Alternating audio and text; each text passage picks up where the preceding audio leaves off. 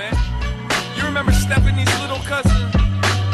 Yeah, little feminine motherfucker. Used to be scared of the football. Yeah, man. Nah, nah, I saw him the other night downtown. Wildin' out, man. It was crazy. Running around Hennepin, waving a gun at frat boys and shit. Hey, dog, I heard you got those trees. Wait, dog, you can't possibly be even 13. What you doing open this late? Ain't got no older brothers to hold you in place.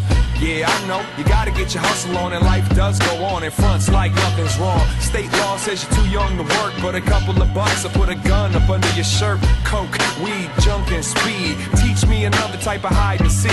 Chemistry, economics, math, and business. Already a pimp before high school's finished. Even the rich kids get in the mix. Only difference is them bitches did it for kicks.